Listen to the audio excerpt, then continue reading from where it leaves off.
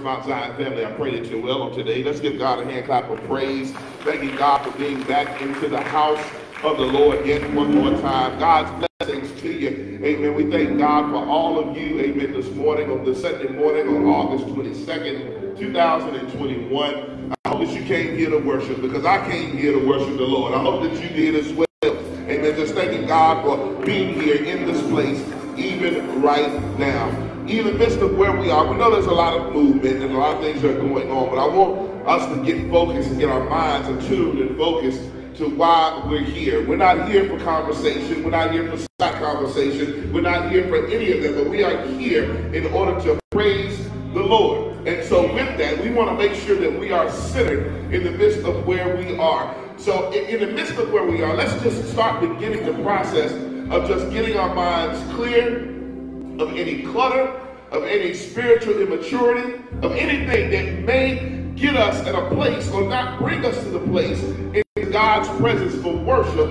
on today. We thank God again for what he's going to do, amen, in the midst of where, again, we are. Again, First Mount Zion, again, it, is the fourth Sunday, amen, the five Sundays in the month of August. I just thank God for seeing you here.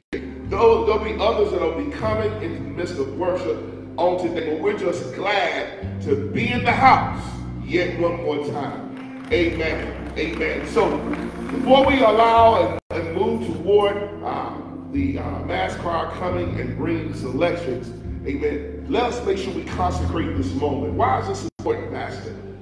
Before we go into the place of worship, we must seek the one that we are worshiping. The one in the person of God, Jesus Christ, our Lord. And with that, this is why it's so important to consecrate the moment. Scripturally, we see this consistently. That before anything was moved into, before anything was moved, before any hallelujah shout was made, the moment was consecrated. Solomon prayed to consecrate the temple. Jesus, before he even went to the cross, consecrated that moment before he was arrested. What does this allow us to do? It allows us to pause. It allows us to think of the goodness of the Lord in the land of the living. It allows us to be still and know that he is God. So I want you to get your, get your mind fixed. Not because Pastor Hank would say it, but because you just love God that much. Let's get our minds attuned together as we move into this center place and centerpiece of the worship experience. Pray with me if you will. Most eternal and all-wise God, our Heavenly Father, we want to thank you. Thank you, Lord, for this moment. Thank you, Lord, that you allowed us to wake up this morning got us started on our way well, Lord, we thank, we thank you, Lord, for bringing us to the house. Some of us brought illness here. Some of us brought cares of last week here. However, Lord, we made it here. Your grace and mercy allowed us to do that. And since we're here, Lord, we want to make the most out of this experience. So, Lord, we pray for every element that's in the room right now.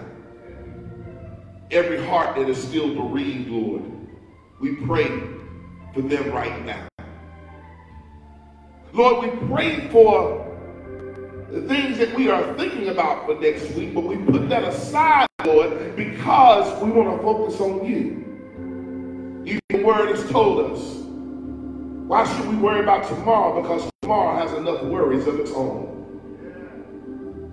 We ask right now in the name of Jesus, the Lord, this place that you consecrated called First Zion, that we're here to worship you in spirit and in truth. We're here to worship you, Lord, because you're just a good God. We're here to worship you, Lord, because you've done wonderful things for us, whereof we are glad.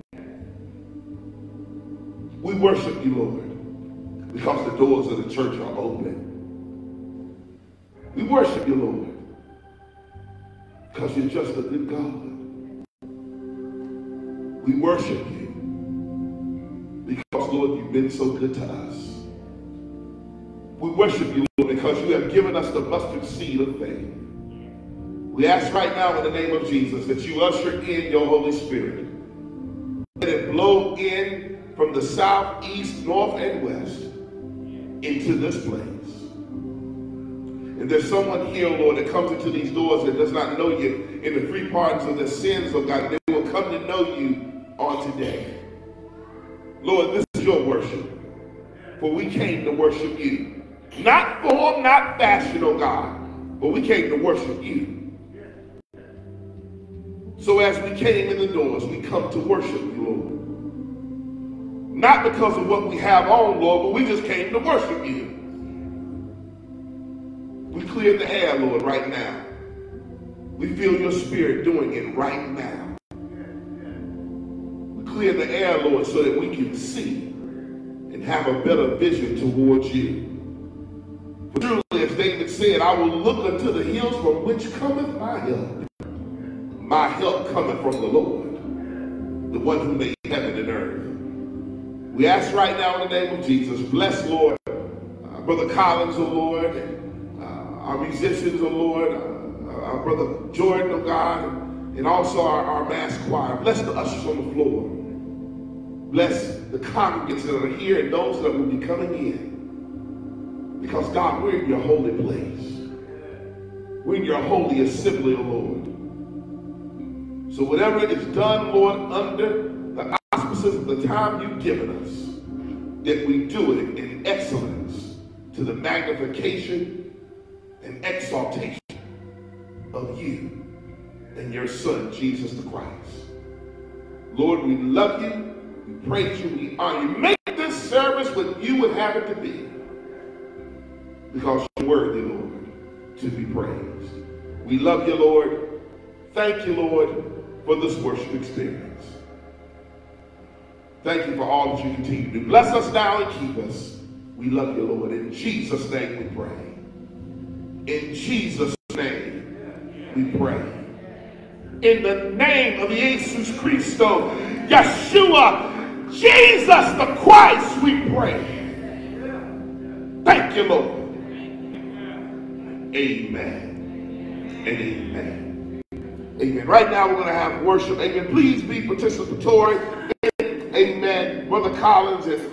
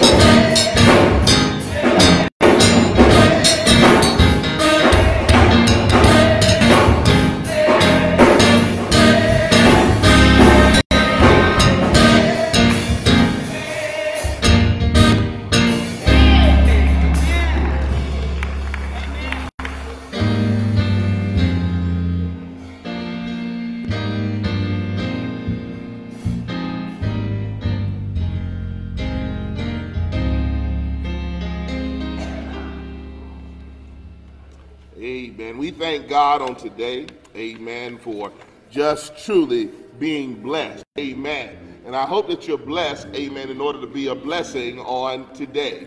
Amen. We thank God for being in worship. Amen. Just trying to get all this technology and everything else situated. Amen. There we go.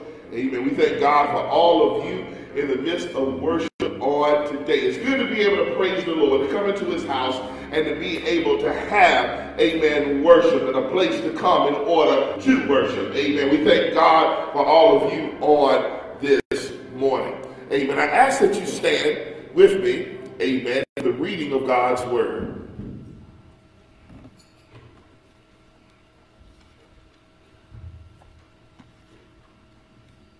And all month long, we have been in the book of Hebrews. Hebrews chapter 11. And our focus today is going to be on verses 23 through 31. And when you have it, amen, say amen. If you don't, say wait for me. Amen. Amen as we can get there together. Amen.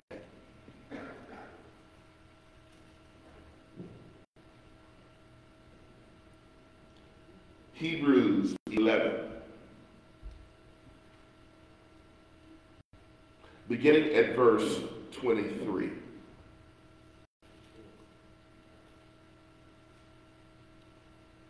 By faith, Moses' parents hid him for three months after he was born because they saw he was no ordinary child.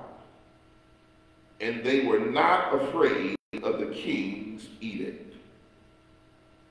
By faith, Moses, when he had grown up, refused to be known as the son of Pharaoh's daughter. He chose to be mistreated along with the people of God, rather than to enjoy the fleeting pleasures of sin. He regarded, regarded disgrace for the sake of Christ as of greater value than the treasures of Egypt, because he was looking ahead to his reward. By faith, he left Egypt, not fearing the king's anger He persevered because he saw him who is invisible.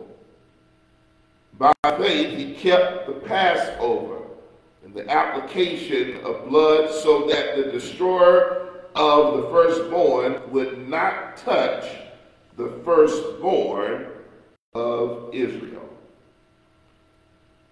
By faith, the people passed through the Red Sea as on dry land.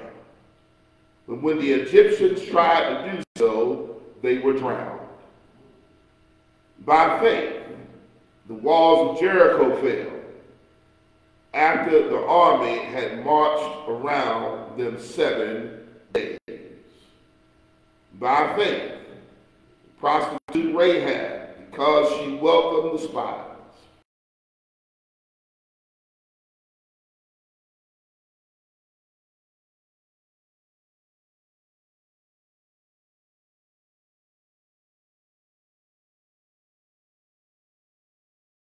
162 pass me not.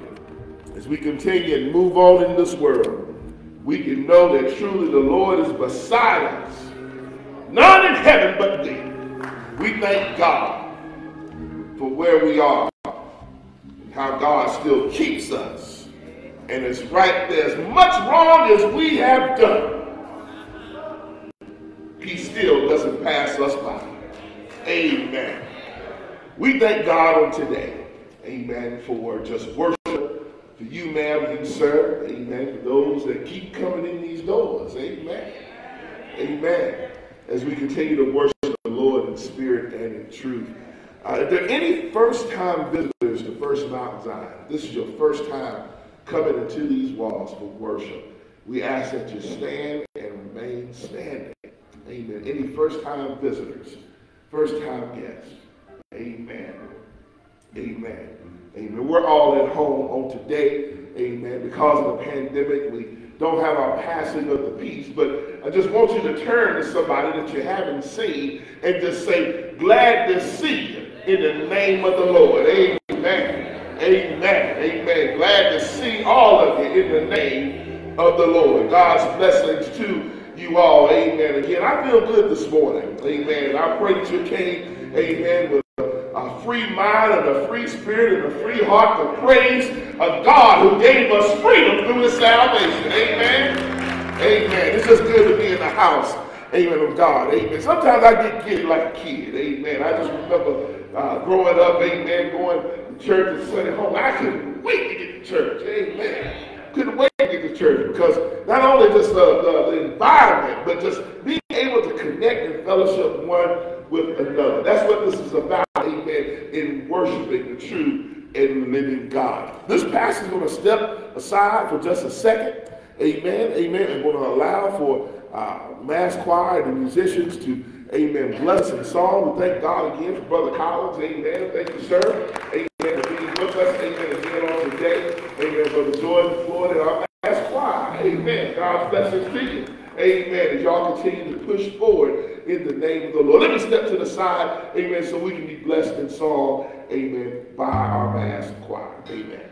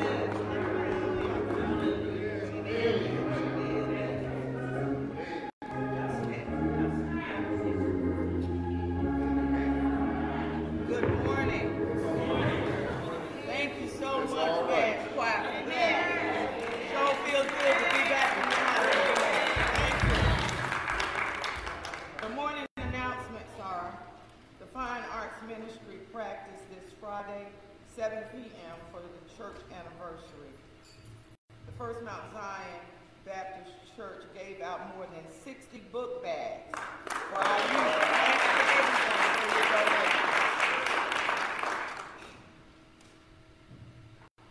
We need to send prayers for Brother Antonio Adams. He's having a procedure on his heart tomorrow.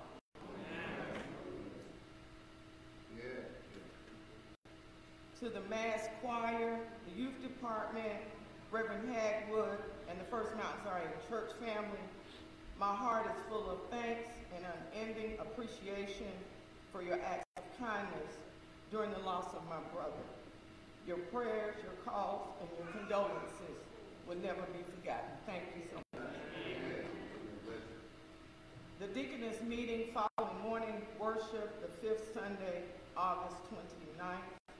Sunday school will remain virtual, and we will not have the nursery or the children's church open.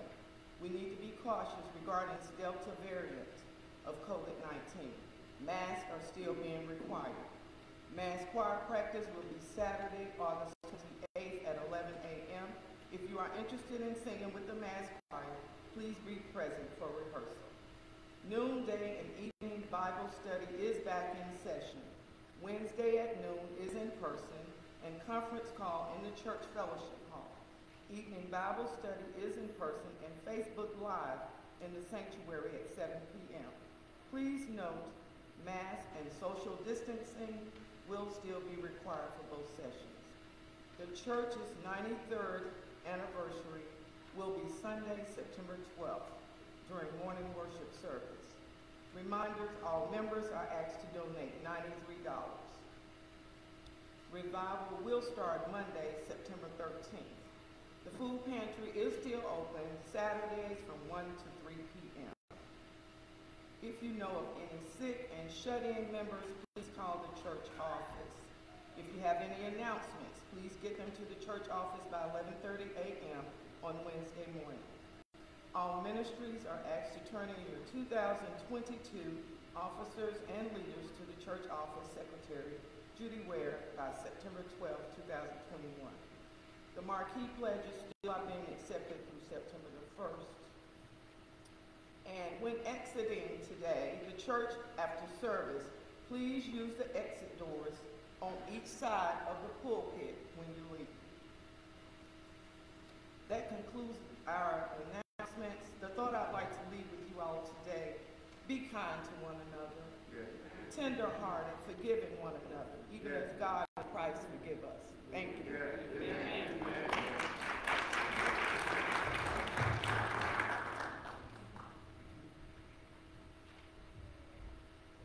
Amen.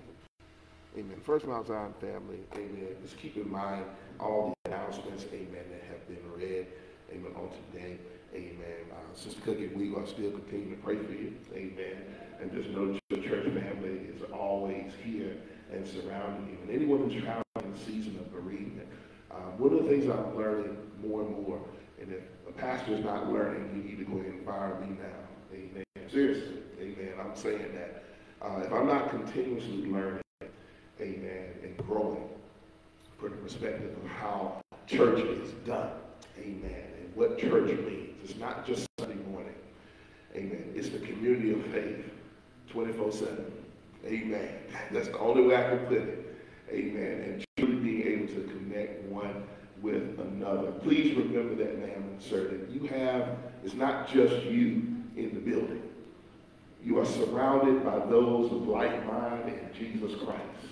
And because of that, you are connected not only to your blood family, but also to your blood family. Somebody will get that in a minute. Amen. I'm talking about the blood of Jesus. Amen. And so because of that, that's why it's so important that we fellowship one with another and truly embody the character of Jesus Christ in everything that we do. So please keep that in mind. Amen. I'm always learning that, and I'm very sensitive to it. Amen. Because life truly is fleeting. Amen. And it moves so quickly. And so with that, we must be sensitive to the ebbs and flows of life know that we still serve one common, true, and living God through Jesus Christ. And that's how we're connected together. That helps us through our pain, helps us through our sorrow, helps us to love one another, helps us to forgive one another. Amen. And lead us in the paths of righteousness for the namesake of Jesus the Christ. Amen. So let's just keep that in mind. I know it sounds basic. I know it sounds central, a central tenet of the Christian faith. But I honestly believe that that's what church together. Amen. It holds the church together as we move forward. Amen. You've heard the announcements that have been read. Um, a couple of reminders I want to give. Um, one, you will be getting, amen, very soon. I've heard uh, church anniversary will have it during our morning worship. Um, working on speakers and so forth, both church anniversary and for uh, our revival. Revival will be three nights, Monday, Tuesday, and Wednesday. Amen. So that will be, I think, the 13th, 14th, and the 15th. Amen. So please keep that in mind. Amen. Um, I'm working on that now as we speak to get uh, uh, procure speakers and things of that nature. And I'm, I'm by the time I get to next week, uh, I should have everybody, end of next week, I should have everything locked down and to give you names of who will be coming. Amen. For uh, for speaking for our church anniversary as well as for our revival. We still are going to have them. Amen. And we're going to do them, amen, in person. Uh, last year, because of the pandemic, we had revival and church anniversary right there in that vestibule. Amen. Virtual. Uh, that's the way we actually did it. Amen. And um, and this year, we will actually try to have it physically in person um, here in the church, of course, just practicing everything from uh, the aspect of prevention uh, for COVID-19. So distancing, hand sanitizer, mask, and so forth. So just be in mind, you'll be hearing more about that in the weeks to come. Again, we want to thank everyone for participating last week when we had the deacon ordination service. Amen. Just awesome. Amen. Um, Dr. Benny Irwin, um, we had our executive UNBA meeting yesterday, which all that is virtual because uh, there's just too many churches, amen, to be able to try to congregate in one place. So um, um, I was on the call yesterday, and uh, Dr. Betty Irwin mentioned First Mount Zion. Amen. She mentioned us because she always talks about what's going on in the association. Amen. The churches in the association. And she specifically mentioned our ordination service. Amen. Because she has a list of things that she's doing. She's going from church to church. And then also pastoring her own church. Amen. So she's going through all, all that, and she made it a point uh, to recognize, amen, our ordination, specifically our first uh, female deacon of First uh, Melissa Adams, went through that aspect. That was part of her minutes that she read on yesterday. So I wanted the church to know that, amen, from that perspective. Please, ma'am and sir, you'll be getting more information, UNBA, while I'm starting to really move quickly. Um, a lot of things are still virtual, but um, the annual sessions will be coming up very, very soon in September. Um, and so uh, you'll be getting information on that. We've got, I think we're starting to get details on that. It should be in the minutes that I just sent to Sister Ware on yesterday. And, um, and to get all the details in regards to the passage to you. So if you want to stream online to see it, that you'll be able to do so. And if there is an in-person, that you can go, if you wish to go, go to the in-person worship uh, during the time of our annual session. So with that, those are announcements, of course, that I have. Please keep in mind everything that has been uh, read. Also, our and shut-in list that will be read shortly. Um, in regards to that, please, ma'am and sir, uh, I, I, want you to give a hand clap of praise, amen, for our brother Emmanuel Wilson. Amen. Just give a hand clap of praise for him. I, I, the reason why is I, I want you all to re realize that we're still working through this technology. We're still trying to figure things out. We're learning as we go in that regard. And why am I saying this? I, am saying this because a lot of people want things instantaneous. You want things now. And I understand that. However, when things are new, it's new. So you got to learn. Amen. So I ask that we give patience, amen, to our sight and our sound area because it's not just sound anymore, it's sight as well. So we got to make sure that we give uh, give Brother Wilson and those that will be helping him, give them space in order to operate and work and patience in that regard. Please know that Emmanuel has a lot of experience in doing this. Matter of fact, he has over about 15 years, really, amen, of experience doing this. He's been doing this since he was a teenager.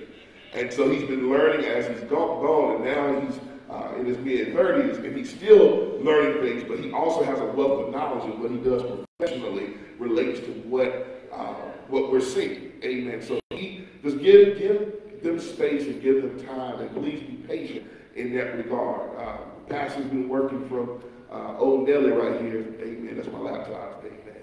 Um, old uh, Trusted Dustin. You hear me call that too.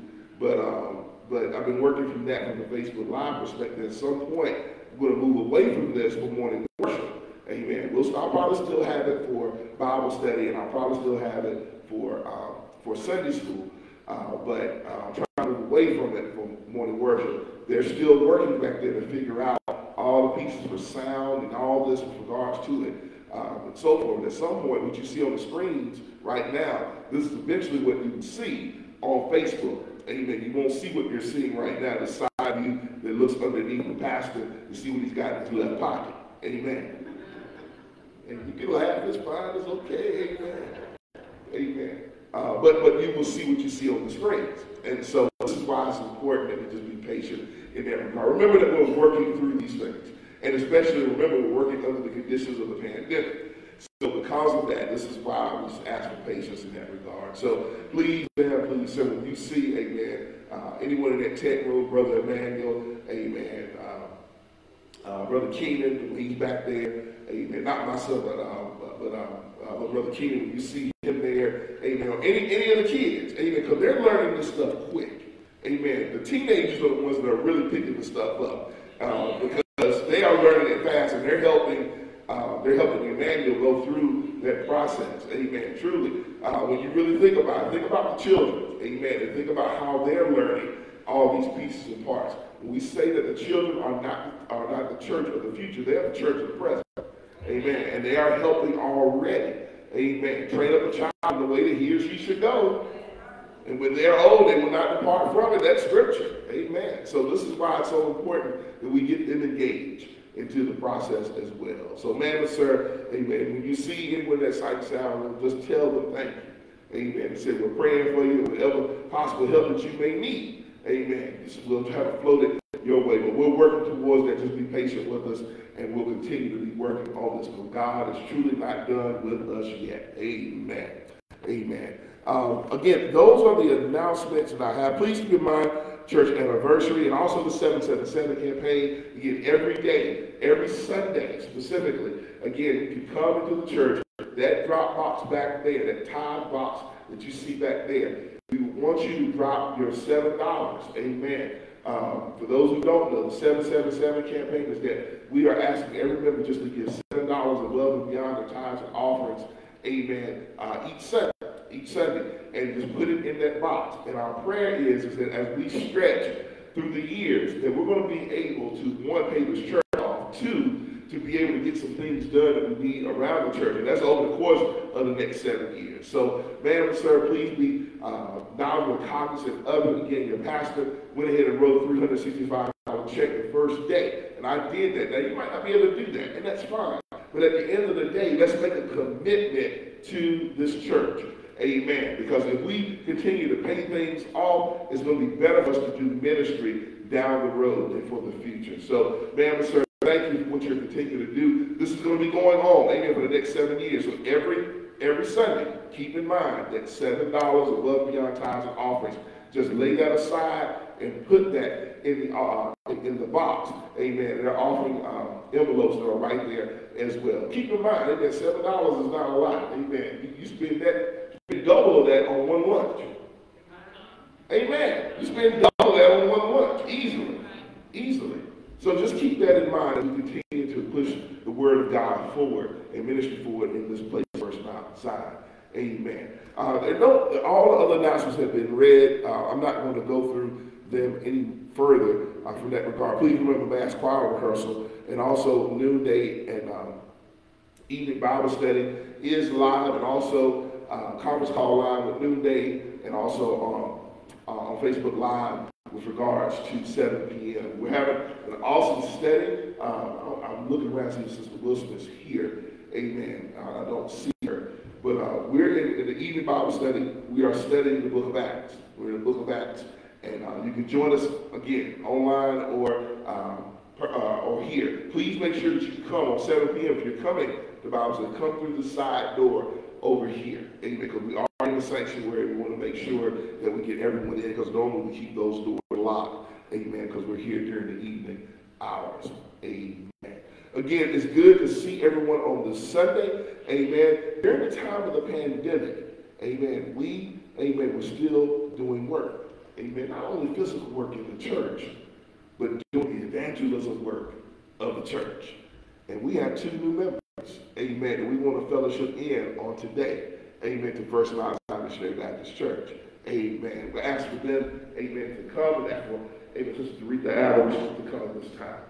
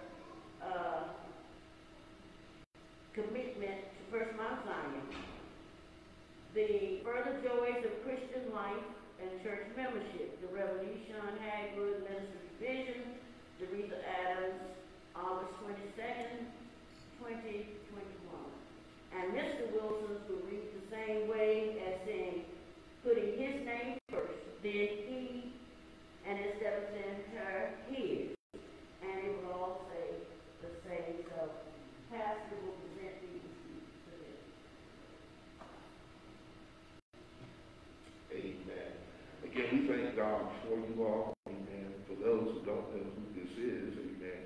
Anthony is the son of D. David Williams. Amen. Correct? Amen. And so I just want you all to know that this is family. Amen. Not only First Mount Zion family, but family family. Amen. In regards to this family here. So, Sister Sabrina, we thank God for you. Amen. Uh, see that you're active in worship. Amen. You just love to praise the Lord and your praise. Amen. Thank God for that. Amen. And just thank God for you. I pray that you will get uh, as much out of the ministry as you put into it. Amen. I know times are difficult because of COVID. However, we're still going to do the work of Jesus Christ in this place, and we're going to do it to the best of our ability to do it with excellence. So I want to tell you formally, welcome to First Mount Zion Missionary Baptist Church. We are glad to have you. Love you, the Lord, and nothing you can do about it. Amen.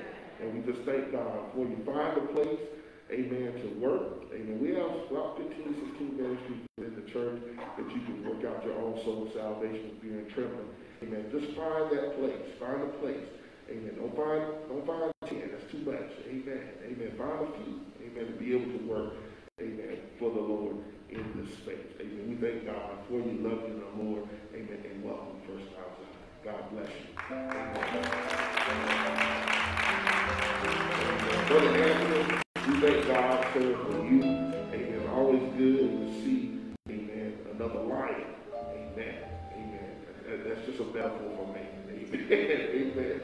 To see uh, uh, a man of God, a man of God, amen, coming in and being able to come to not only the fold, but to come in, amen, and try to act a part and be here in worship. Amen. You all are a married couple. We thank God just for you.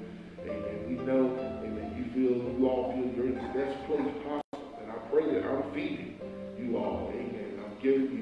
that God has given me in order to showcase that both in study and work, in preaching, in order to manifest uh, what God is doing in your life. Amen. As you continue to make uh, uh, God, what God is manifesting you. Amen. In this place called First Mount Zion. So we thank you, sir. Amen. Find Father, please, Amen.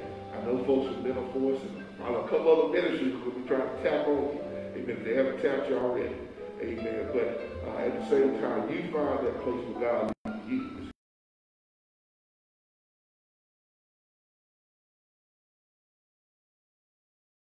First Mount Zion, so glad to have you. Loving the Lord, sir. There's nothing you can do about it. I'm your pastor, Reverend Eshawn Hagley. Amen. You can ask him about around town. Amen. If you hear a bad word, just tell me about it. And I'll send, I'll send some of my demons. Amen. Amen. We thank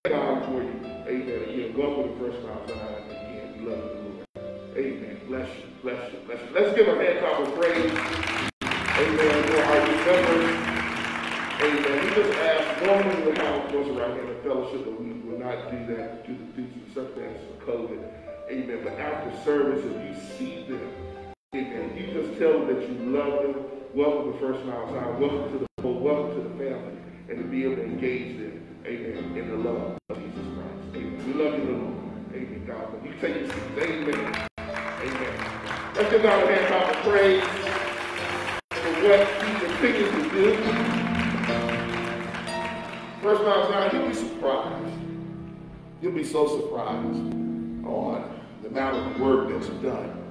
Amen. And I'm one that believes that at some point a seed is going to manifest. Seed is going to, as you keep planting, at some point, fruit's going to grow. Something's going to grow if you keep planting seed. And so with that, that's why we continue to do what we do because truly that's what we're doing, spreading seed. And we know it will catch and it will grow and it will manifest into growth even within our church spiritually as well as physically over time. Amen. Amen. So with that being said, amen, we do have, amen, um, I think Deacon Williams, David Williams will come at this time and give an emphasis on our sick and shut in. And I'm going to ask him this to, to remain Amen. And lead us to the throne of grace as well. Amen.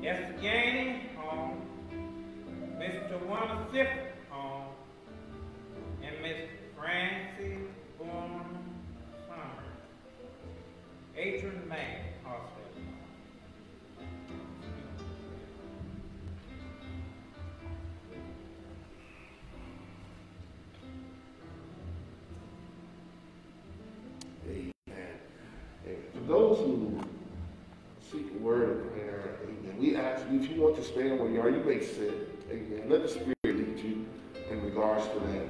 Amen. I think, if I'm not mistaken, Sister Bonnie, I think she's at home. Amen. I think she's at home, if I'm not mistaken. Amen. That's the word I had gotten this week. If I'm wrong, please let me know. Amen. My understanding she's at home. I think she received, my wife received a text actually from her saying she was back, uh, back at home. She was out of the hospital. Amen. Amen. The truly are so important to the life and faith that we have in Jesus Christ. That we should pray often, pray without ceasing. And it's important for us to remember that because in these days and times, we need to be praying. Oh, Lord, yes, we do. We need to be praying. Because there's so much going on in the world. As Deacon Williams comes and he leads us to the throne of grace, cast your cares upon the Lord because he cares for you. How do you do that? You just go to the throne of grace and pray. Pray for your family. Pray for yourself. Pray for others, your church family. Pray for our church in general. Pray for the city. Pray for our nation. Pray for those in Afghanistan. Pray for those in Haiti right now. They're going through it. Across the world, someone needs prayer. Comes, he will lead us to the throne of grace.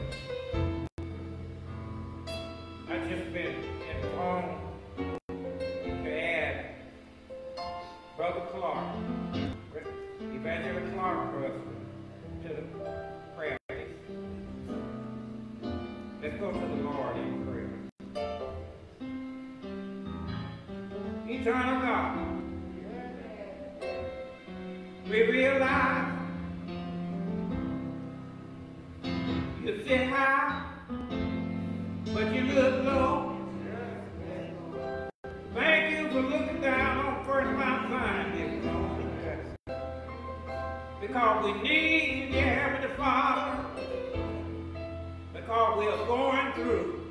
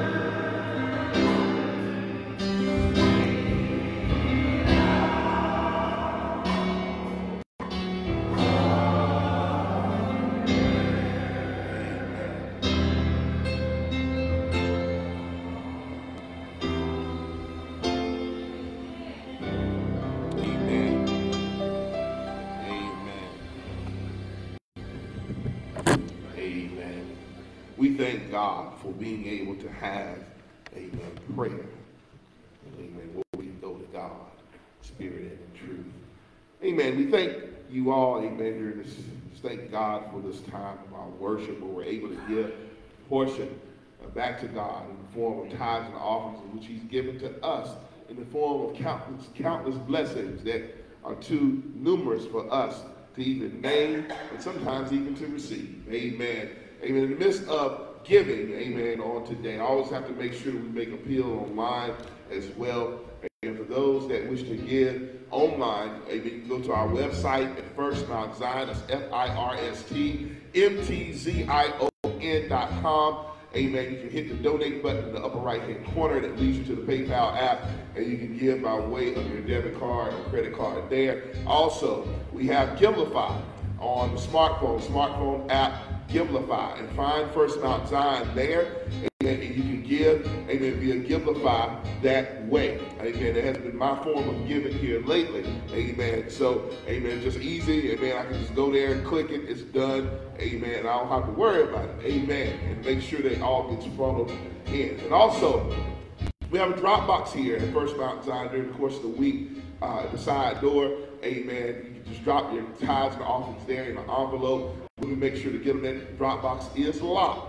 So, amen, you can uh, make sure that it, you know that it is secure and you can give uh, appropriately there. And also, if you're not making it to worship, amen, uh, and you want someone to come and get your tithes and offerings from your home, we will be more than glad to do so. Just contact us here at the church, amen, by phone, 704-332-8335. Amen. Just uh, contact us. If no one answers the phone, just leave a message. We'll be back with you. Amen. And we'll organize a time when you come and get your tithes and offering. Amen. We thank God for you during the course of where we are. Trustees are already in place. Amen. I ask that you stand with me at this time. Amen. As we go to the Lord in prayer. Let us pray. Most eternal and all-wise God, our Heavenly Father, we want to thank you, Lord, for this time of giving that we give back a portion to you, O Lord, in the form of tithes and offerings, O God. Lord, you said, bring ye uh, all of the tithes into the storehouse, that it may be meat in my house, O Lord. And you said, trust me in this, and that, Lord, that, that you that trust you in it, Lord, to the point where that you would open up the windows of heaven and pour us out a blessing that we wouldn't have room enough to receive. So we ask, Father, that we are obedient, Lord, to your word, obedient in faith. You've done so much for us, oh Lord. There's no way, Lord, we can pay you. That's an insult, oh God. But what we want to do is give resources to the kingdom as you have stipulated, God, in order that we can do ministry in this place called First Mount Zion. We ask, Lord, you bless those who give, bless those of a heart to give, but may not have it at this time. Lord, give provision where there's lack, and allow us, Lord, to see your glory as we move in the days ahead. We love you, Lord. In Jesus' name we pray. Amen. Amen. You may be seated in the presence of God as the trustees will serve you at this time. Amen.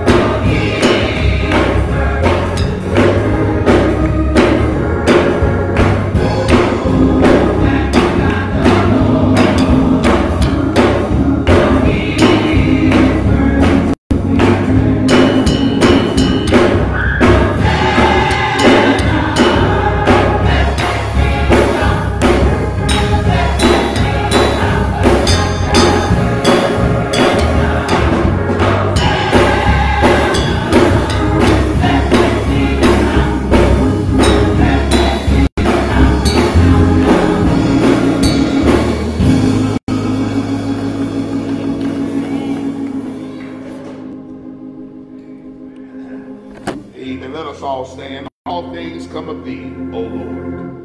All things come of thee, O Lord. And of thine own has we give of thee. Of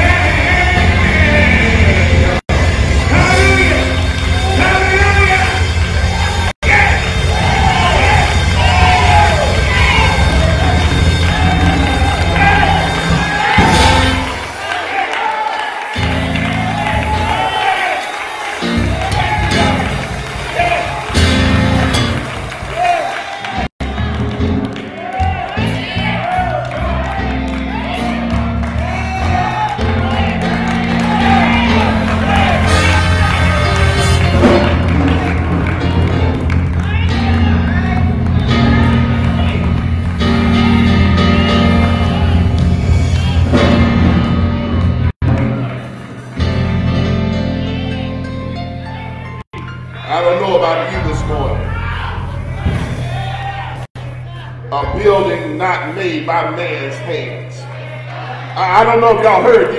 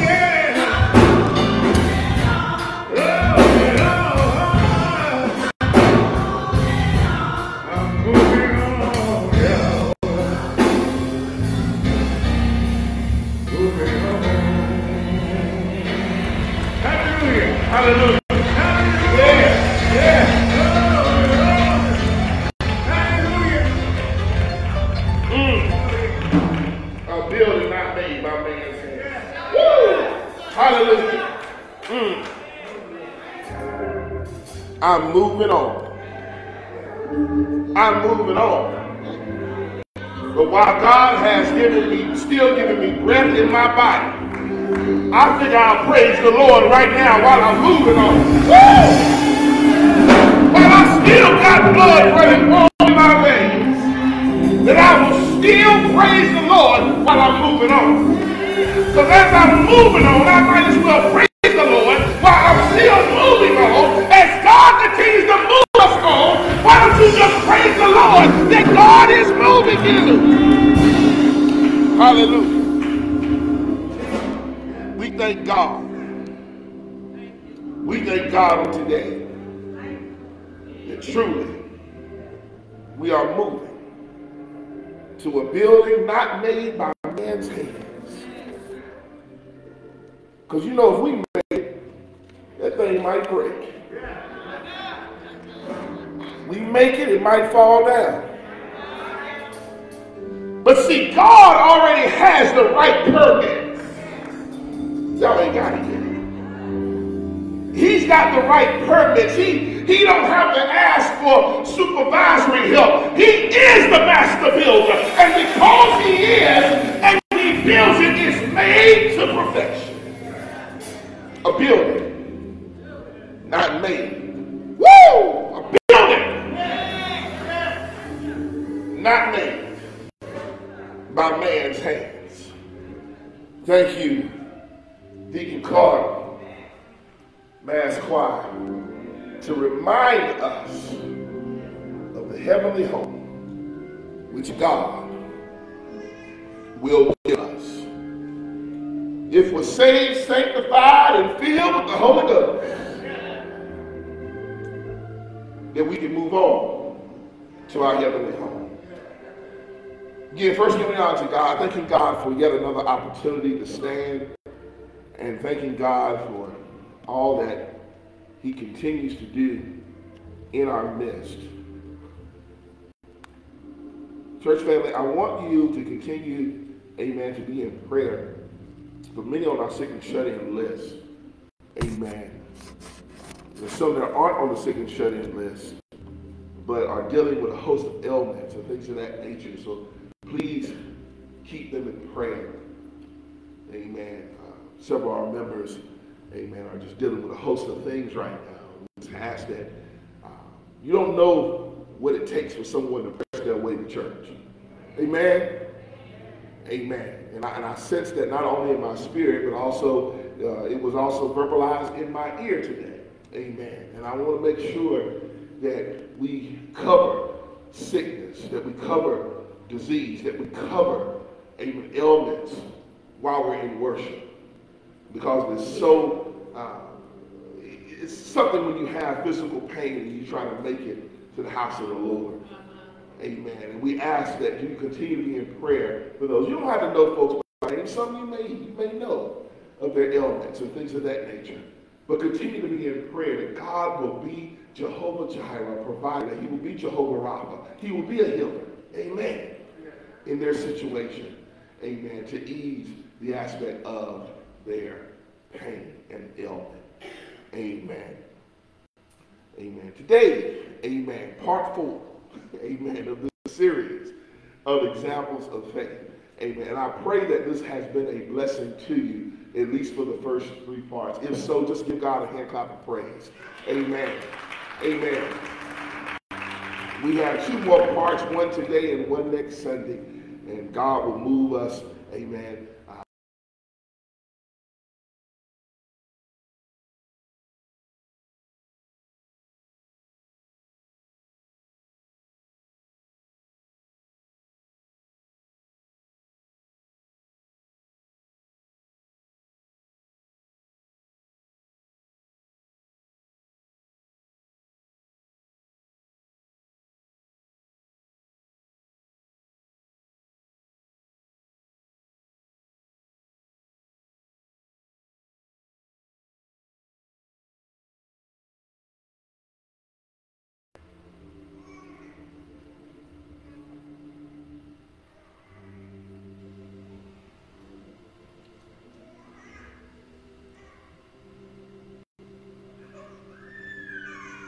23.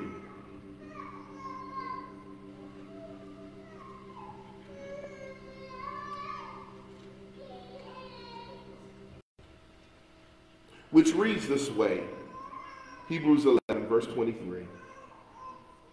By faith, Moses' parents hid him for three months after he was born because they saw he was no ordinary child, and they were not afraid of the king's edict.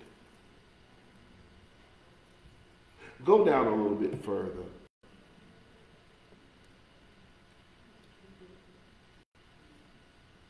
Verse number 25. He chose to be mistreated along with the people of God rather than to enjoy the fleeting pleasures of sin. Hmm.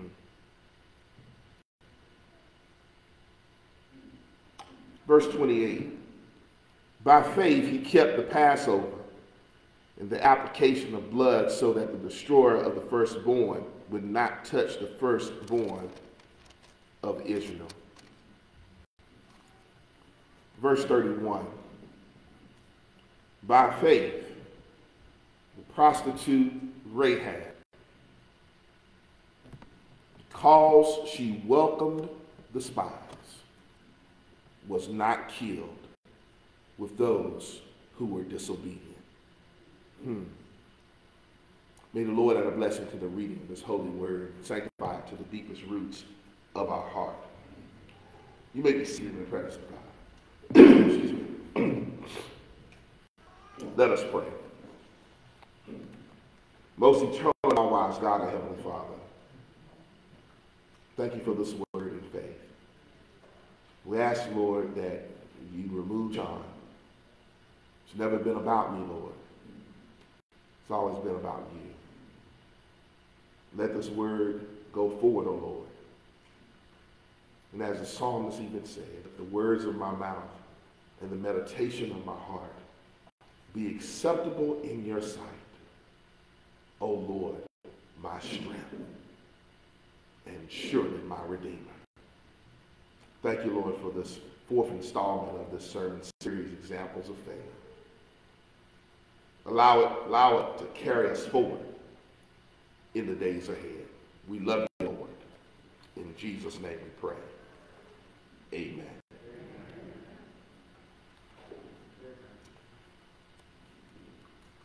Again, church, examples of faith, part number four.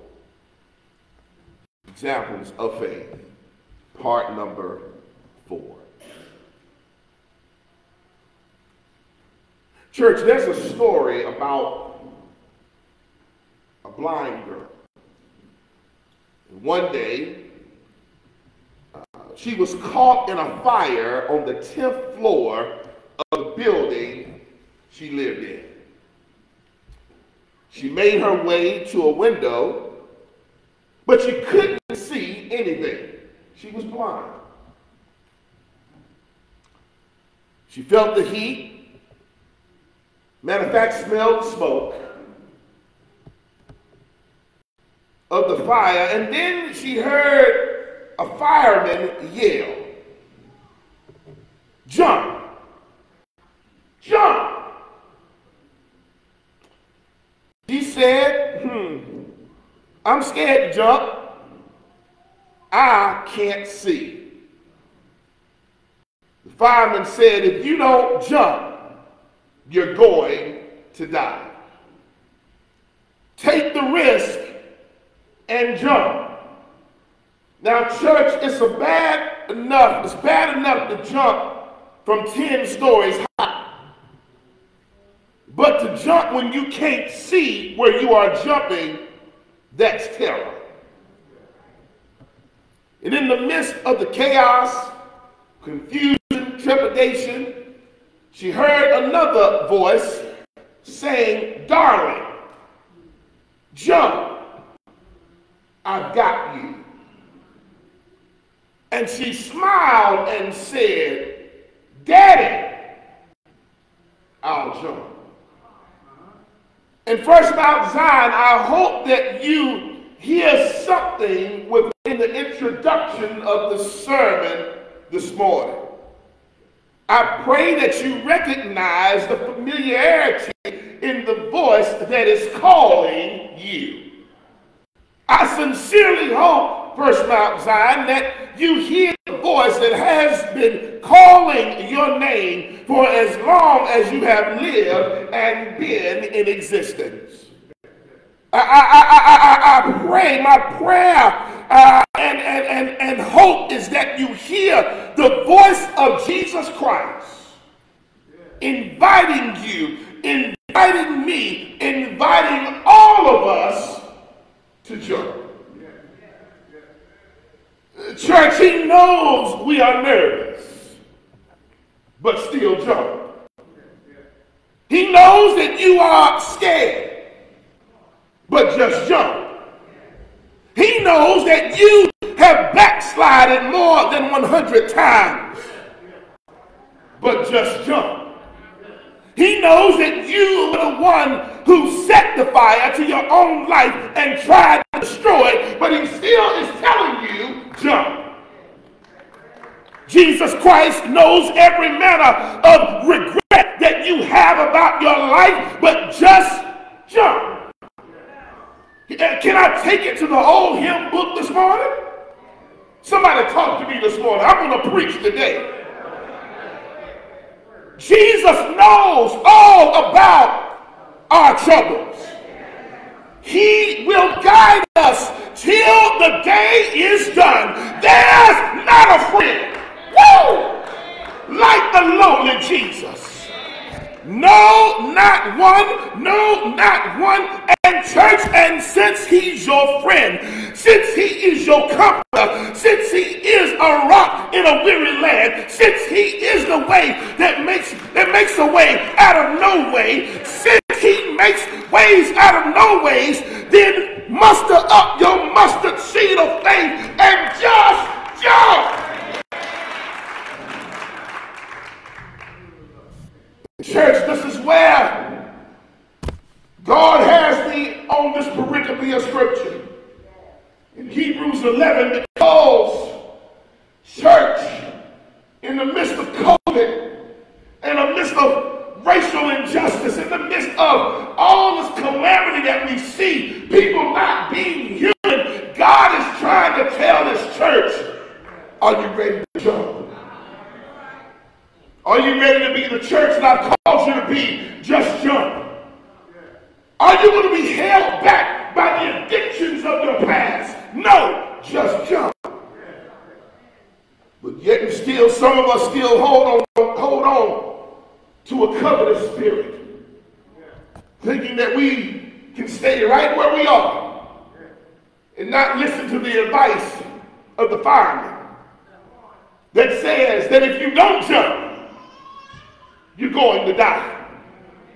And I'm here to tell us, church, that it's not about necessarily physical death. That just brings the allegory and, and the connection to the story to a place of reckoning for us. The question becomes is when the fire is burning and you don't have anywhere else to go, are you going to be able to to the voice of God and hear God's voice, hear Christ calling you, hear the Holy Spirit moving you, and take your tail and jump?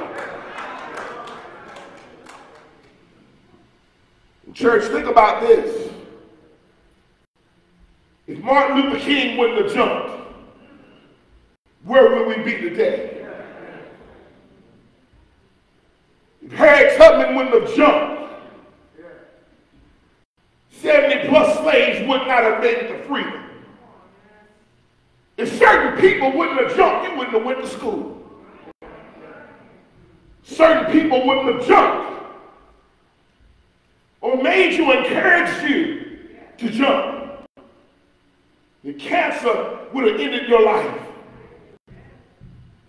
But it takes jumping, church, to move to the next dimension. Why are you talking about this, preacher? Why are you going into the aspect of jumping? Because what jumping does, it says that, that the one that's going to catch you has said that he will be there regardless. I will never leave you nor forsake you. So the aspect of jumping means that you're jumping away from something that would ultimately end your dreams and also what God has in store for you. Sometimes, church, the church needs to jump. Can I go there this morning? Sometimes the church needs to jump to a new agenda. Sometimes the church needs to jump into the 21st century. Sometimes the church just needs to jump into what's new because that's what God is calling us to. And why church? Because the lifeblood of context of ministry, which we project, means that God is doing something now. So why reflect on old stuff? Why try to put new wine in old wineskins? We can't do it.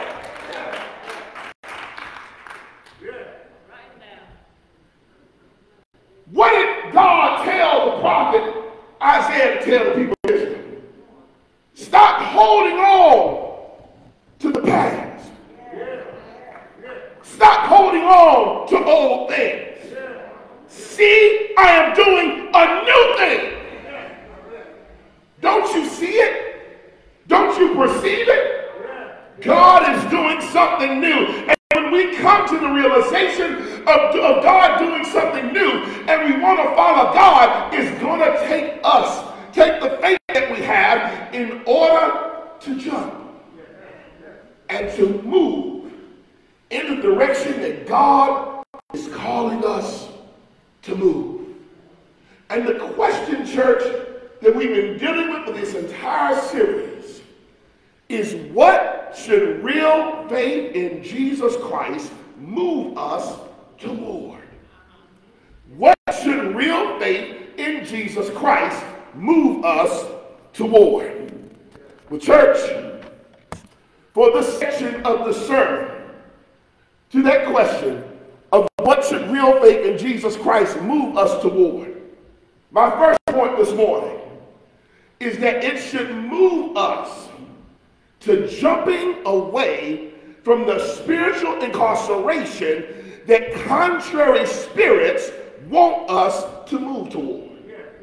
Let me read that again. Jumping away from the spiritual incarceration that contrary spirits want us to move toward. Well, church, as we go into this text of scripture, we're hearing in verse 23 through 26 the story about Moses. And if you've been in the church at least for a little while, some of you know about Moses. Go ahead and you can open up Exodus when you get home. But what what's there is that Moses at his birth he was born in Egypt. And the Israelites were in slavery. And so an edict went out from Pharaoh, and you read this in the first chapter of Exodus, where eventually it says there was a Pharaoh who rose up in Egypt who knew not Joseph. Now remember, Joseph was the one who became second in command of Egypt, who happened to be an Israelite that kept everybody from starving to death. And so because of that, generations passed. And then there rose a king, a Pharaoh in Egypt, who didn't know Joseph. Can I stop here for a second? I read somewhere that those who forget their past are condemned to repeat it. That is not a biblical quote, that is a historical quote. And the reality becomes, church, is that there are some folk who raise up in their generation not reading what the history books have told us over time and then end up repeating the same old mess. Whether it's in church, whether it's in government, whether it's in whatever, and end up reciprocating demonistic thoughts that ultimately kill the very same people that it was intended to kill back then. What are you saying, preacher? What I'm saying is, I want you to look around your world right now. And this week has really been a downtrodden to me, but I've been praying about it. I'm sitting here, and I was born in 75, in 1975. I'll tell my age, that's all right. And at the end of the day, I'm looking at what's going on in Afghanistan, and I'm saying to myself, is this not Saigon of Vietnam all over again? Are you kidding me? That's exactly what happened in between 1973 and 1975 is that people were trying to get to some level of freedom and folks turned their backs on them. And I'm looking at what's going on in Afghanistan and I'm saying, like, like, like, like the late Deacon Sue, my Lord, my Lord. Looking around, I'm saying, what has our world come to? To the point where we have turned our back on humanity. And what's amazing, church, is that there's so much that we got to go back to God with. There's so much our government has to go back to God with because of what we're seeing in the world. I want to make a quick pit stop there so you can see the relation. But the reality becomes, church, is that what's going on there, again, could take is putting spiritual incarceration not only on the people that are there, but also on us. Let me help us. We need to do the right thing always. Whatever God's righteousness has said to do, we must do that always. And when you don't do it, what you see on CNN is what happens when we don't do it. Let me, let me move further. Let me move further. Within this church, within Moses, Pharaoh said, kill all these boys. Kill all the Hebrew boys. They're growing too much. They're multiplying too much. They're getting larger and bigger too much. And church is amazing with all the critical race theory that we're seeing in the world today is that there is voter suppression, all types of other suppression, trying to keep you away from stimulus and a host of other things that are going on in the world because folks are afraid of the dynamics of what can't change. What's happening in this world, and specifically in the United States right now, is that the minorities are becoming the majority. That's the reality. And the 2020 census has told us this. But when you have diabolical politicians that don't think about the aspect of the world, say they're Christians but act like they're Pharisees, it's amazing to me how you can say that I praise God, but you're willing to not give resources to people that you know are disenfranchised. And so with this, it's a form of genocide, form of homicide, form of kill folks off. And so, church, this is what's happening with Moses. Moses is nothing but a baby. His parents had to hide him for three months. And ultimately, they pitched a, a basket, put some tar pitch on it, put it on the Nile River and floated it, and prayed that somebody would find this child so that he wouldn't be killed. And the basket folks to all, who, who else's house? Pharaoh's house. And Pharaoh's daughter sees the basket, hears Moses crying, pulls him up, and says, This must be one of the Hebrew children. Now, watch this. She knows that this is one of the Hebrew children. She knows her daddy is trying to kill all the Hebrew boys. But she says, No, I'm going to take him in my house and raise him as my own. And what's amazing, church, is that when folks are trying to do you wrong, trying to do evil, God will pitch a basket, send you down a river, and the folks, you will end up in the enemy's hand, and the enemy will end up taking care of you because God already had it planned by faith. And this is why, church, that now Moses ends up growing up in Pharaoh's house. The parents of Moses said there's something special about this child.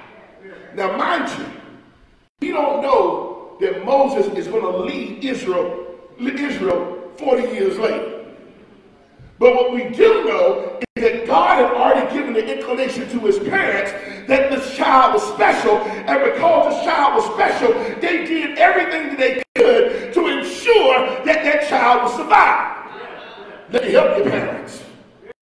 I know, I know you don't know what you, where, where children are going to end up in the future.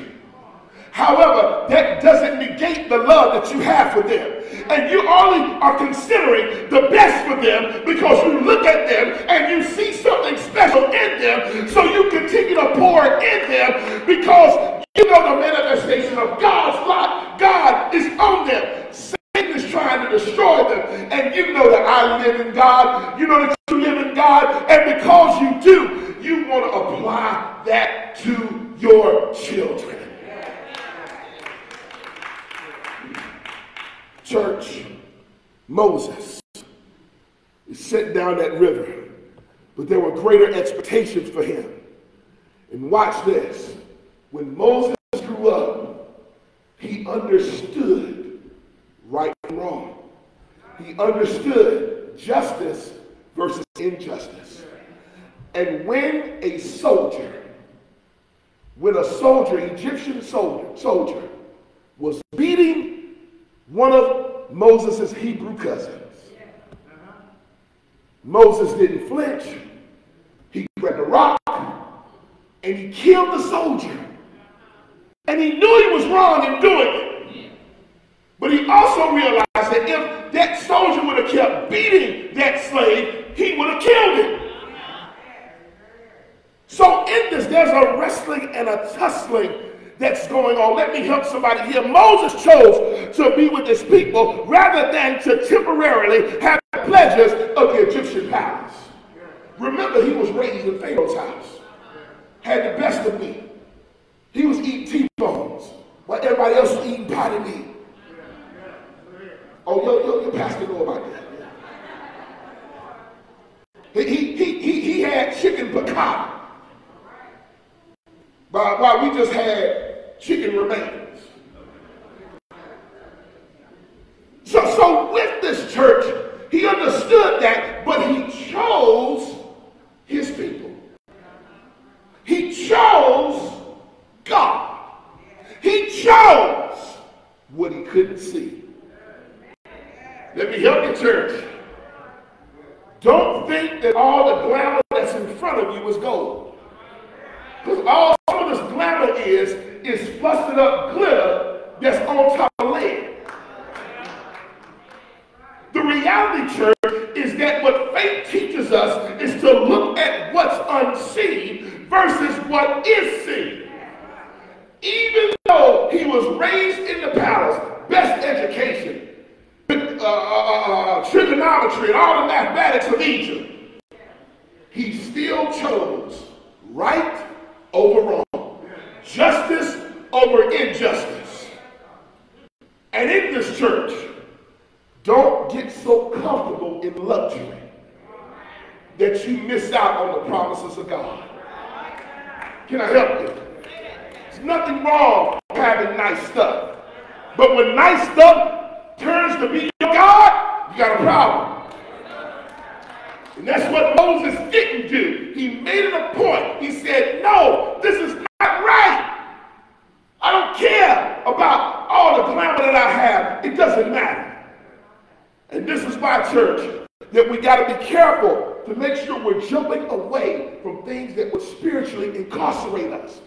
Because it's only a trick of the enemy to keep us from relying on faith of what we can't see. Faith in Jesus Christ to what we can't see. The substance of things hoped for. The evidence of things not seen. My second point, church. Again, to this question of what should real faith in Jesus Christ move us toward.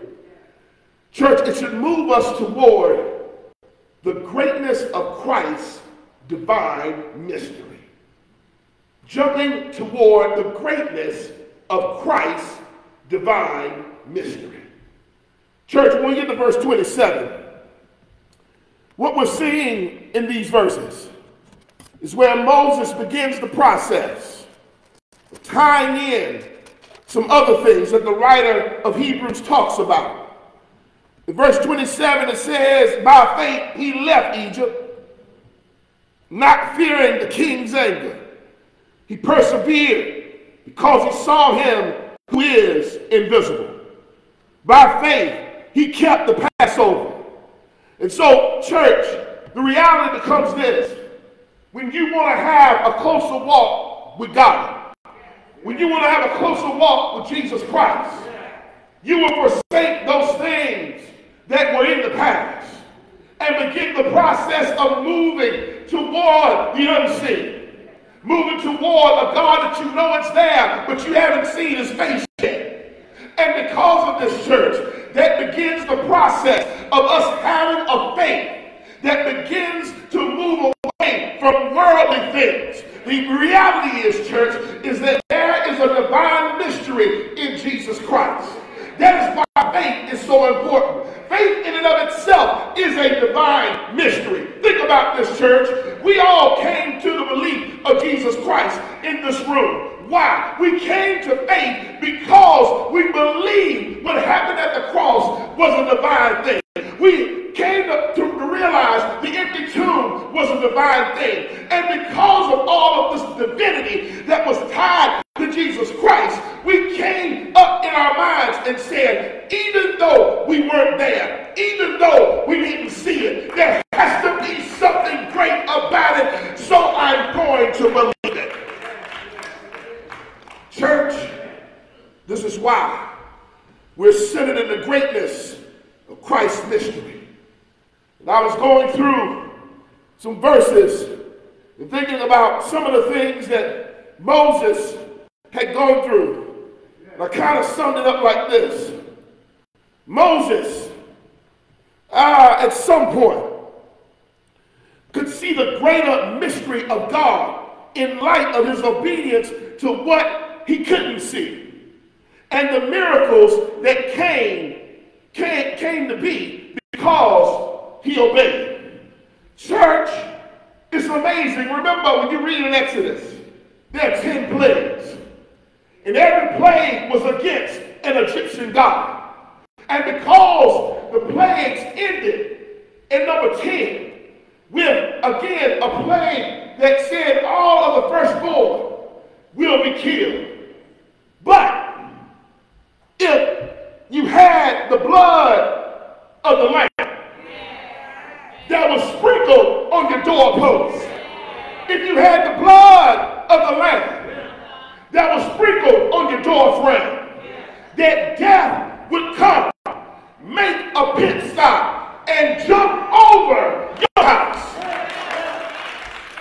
And would keep on moving. And let me help you, church. When you begin to jump towards faith, jumping toward faith makes it a point for Jesus to make sure that the death angel jumps over you. Even though they stretch you out in front of him, that you won't experience the second death. Because at the end of the day, you will be in paradise with Jesus Christ. This tie-in church is tied to the obedience that Moses had. Now I have to go here. Remember when they finally let him go, and they ended up at the Red Sea. They stayed at the Red Sea, and they couldn't go through the water it was too deep. And the Egyptian army was behind them. They were stuck between a rock and truly a hard place. And church, I need to help you with this. That the divinity of God, when it showcases itself enough times in your life, you come to depend on that mystery. You come to depend on that mystery of God. Because you figure it didn't work one time. It'll work a second time. It'll work a third time. And matter of fact, if it worked three times, it must continue to work so it works into infinity. And church, let me help you. Moses got complaints from the Israelite church of the Red Sea. And they begin complaining, why did you bring us out here to die? Why did you bring out? We, could, we would have been better off in Egypt. See, that's, that's messed up thinking. It's, it's, it's, it's messed up thinking when you begin to say that your life was better as a slave. Let me help you. When you begin to say that your life is better as a slave, as one that is indentured to another man. Moses hears all the complaints, and guess what he does? He starts to pray. Now, mind your church. He starts to pray. And as he prays, Moses hears from God.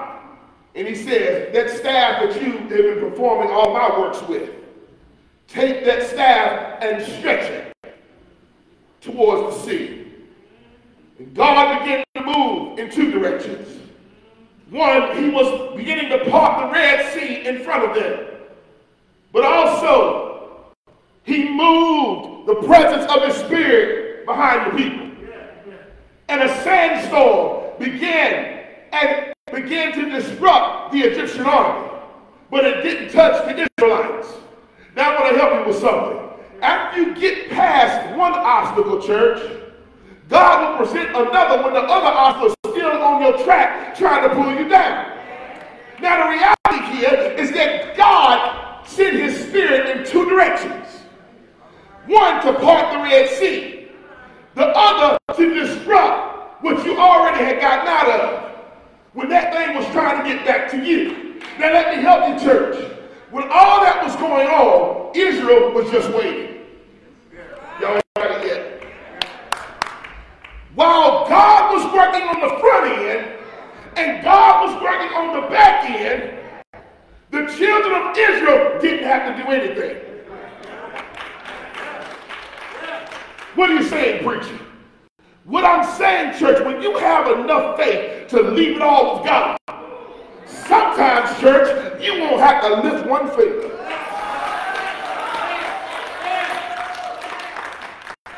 You won't have to do one thing.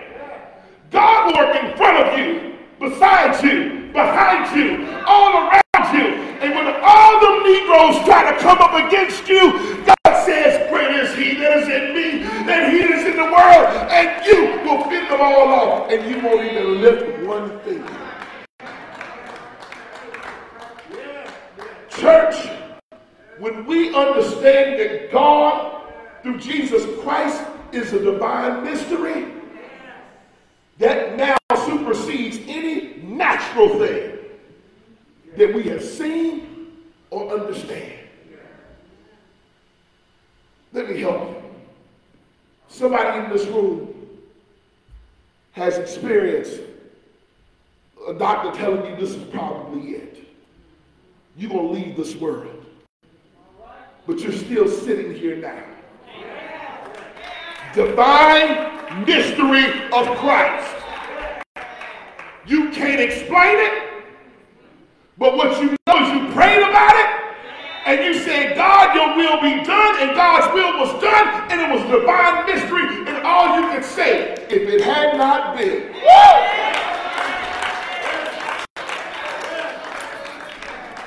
If it had not been for the Lord who was on my side, I would have been dead and gone. And church, we need to understand and appreciate when we see these mystical things of God, that we humble ourselves and we praise God right where we are and say, Lord, it was you. It could only have been you. And that's how good you are. Faith parts red seas. Faith creates havoc for your enemies. Faith keeps you protected and you can sleep at night. Mm. Woo.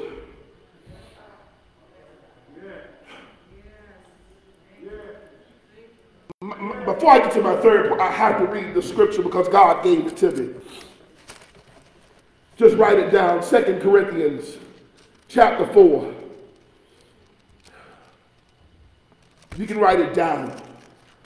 But it says this, verse 17 and 18.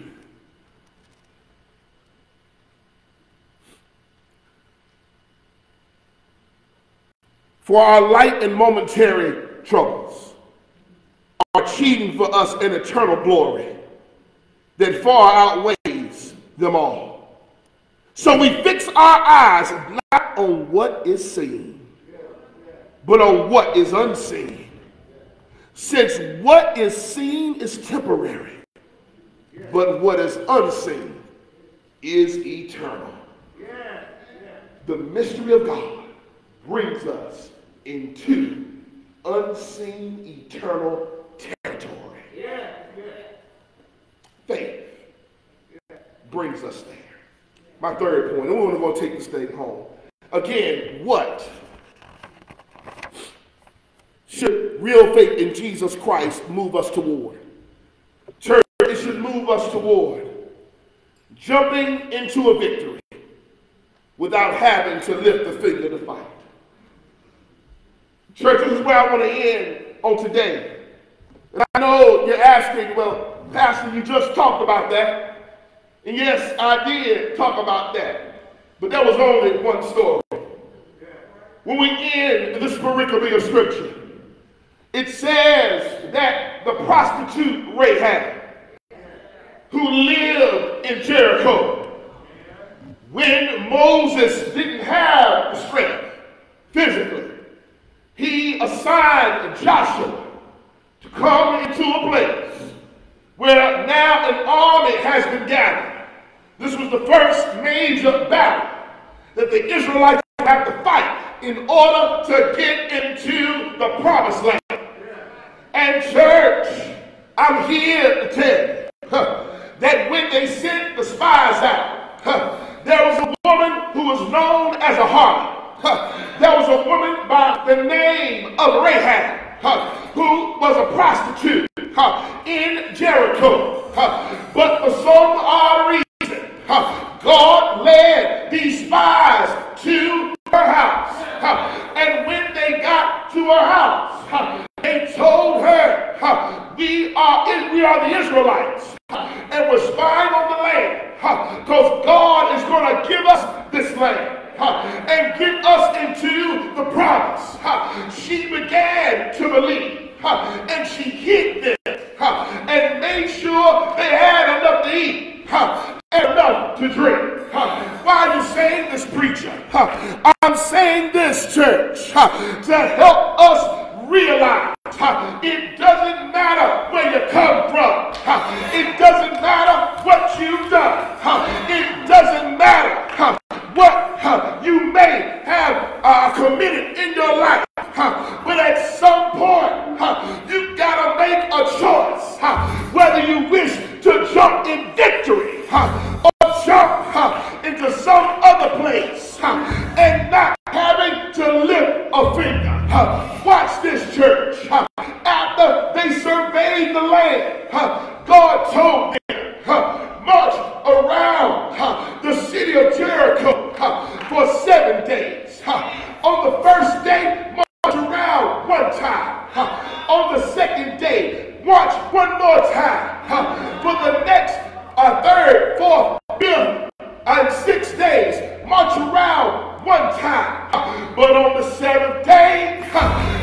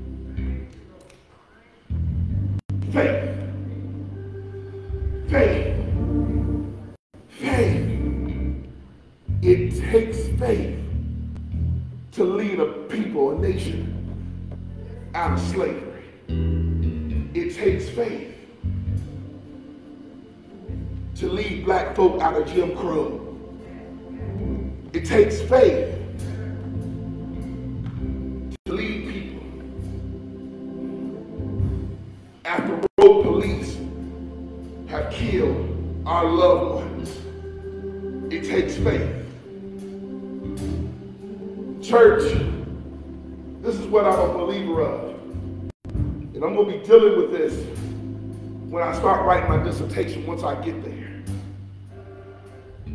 I honestly and truly believe that many of the movements we see in our world right now, some are good, some are not so good. But when I look at a Black Lives Matter movement, I see one component that's missing. And that's Christ. I'm to be honest. It's great to see the good work. But I still honestly believe that that movement doesn't have a true spiritual uh, power source. Why did the civil rights movement work? Because it was couched in the church. Yes, I know Jews and Muslims and a whole lot of other faiths came over, but it was couched in the church. Those meetings at night were in the church. So I can call me old school all you want. But I am a believer that the movement of God was on that movement. Even with all the atrocities of people killed. Faith. Faith in Jesus. Faith. Let's get our minds and hearts ready to jump. There may be someone here who does not know Jesus Christ the free pardon of sins. You can jump over to the Lord's side. Get to know Jesus while he may be found. Come as a candidate of baptism, Christian experience, or by letter, you may come. Whatever your need, whatever your desire, God has the answer.